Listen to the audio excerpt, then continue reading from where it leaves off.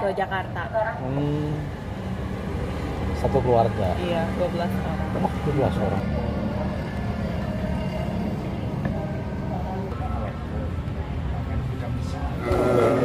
Pengawasan dalam safety di mana eh, keselamatan dan keamanan kerja itu menjadi prioritas.